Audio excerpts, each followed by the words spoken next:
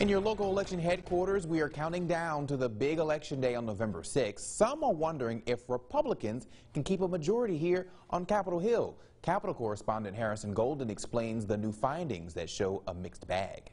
With less than a month before voters shape the 116th Congress, Capitol Hill's upper chamber is feeling the Republican majority's kumbaya moment, one that political analyst John Couvillon owes to perhaps the most polarizing high court nominee ever.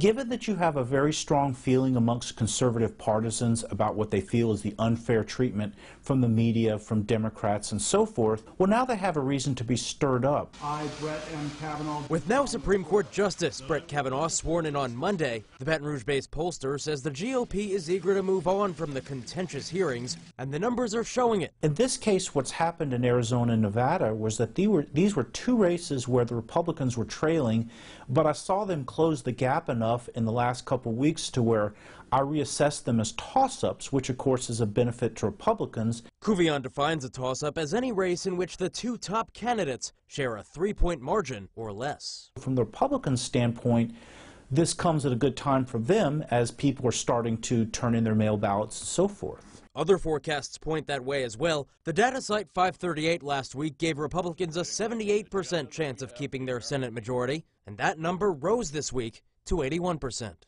But as for the House, that's another story. The nonpartisan forecaster Inside Elections sees Democrats gaining 25 to 35 seats in the lower chamber next month. Such would be enough to win a majority there and split the difference on the Hill.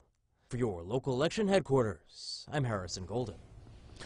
A few nuggets for you now. In all, 435 seats are up for election in the U.S. House. 35 seats are up for grabs in the Senate.